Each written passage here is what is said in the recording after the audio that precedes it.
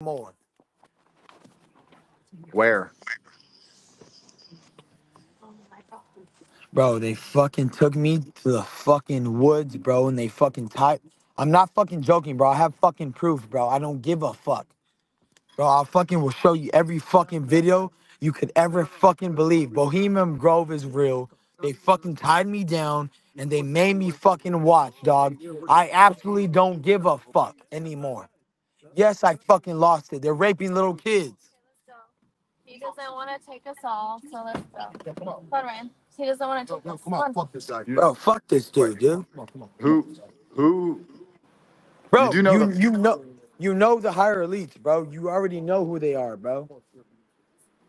Uh, no, you know what? You you know A- the path Andrew- you're going down is dangerous, my friend. That's I what don't give worried a about. fuck. I don't give a fuck. They can't touch me. I'm a God. Well, that's the first point of contention because I care about you a lot, and I can assure you from my own personal experience that they can touch you, which is the Bro, worst part no, about they it. can't, bro. All right, so come touch me, you fucking bitch. You have proof don't of these give- things. On, you have proof of this on your phone. Yes, of course I do.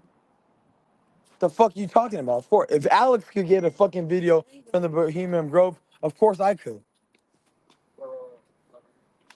Well, I have to be careful what I say because I'm in the middle of a judicial process right now. You want me to get my- you out of it? I can help. Well, you. bro, my door gets kicked in if I if I say what I'm thinking. Okay, uh, well I can help you get out of it if you want. I know people. Oh. tell us what. Tell everyone at home then. Start from the beginning. When did this happen? Where did this happen? What exactly did you see? Why have you tweeted the things you've tweeted? Let people at home understand you a little. bit Because more. I don't give a fuck. though They raped me, right? I was two years old. They raped me. I have proof of that too. That's where it all started, bro.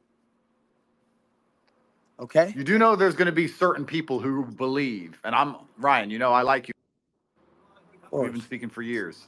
You know there's going to be people who believe you're just saying this because you've I don't know had a mental breakdown or taken drugs and you're repeating course, some of of the course. things you've Uh, said on the internet, and the, so they're going to not I- believe you unless you come Give at me it the very drug test, then, coherently. Andrew. Andrew, I'll go to the fucking Romania and take a drug test in front of your face. Bro, you don't want to come here. you you don't need Romanian jail. It's bad for your fight camp.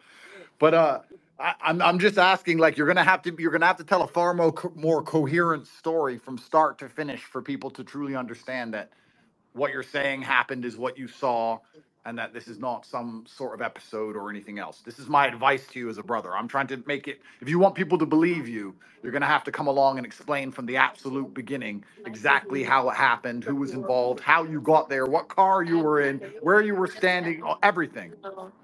Of course they're gonna want that, and I have all the information possible. Okay, so when you're releasing it, how are you releasing it, or are you keeping it for yourself? Because it looks like you don't want to keep it for yourself. I don't. At the right time, I'm gonna release all of it. But at the right time, I'm gonna do it. They're already calling me to tell me to stop. I don't give a fuck, dude. I've already had a meeting with them. I'm gonna let you sit with that, Andrew. All right, bro. Well, I want you to know that either way, I'm praying for you, and I hope that Thank you, bro. you know. uh, No, and, and I mean, I don't that, give absolutely. a fuck, bro. Alex Jones has been saying the same shit, and they So basically, Ryan Garcia is probably having a mental breakdown or has taken hard drugs. Either way, we are praying for him because he has a fight coming up with Devin Haney soon, and I don't think he is fit enough to fight. But hopefully, he gets some help, and we should all pray for him.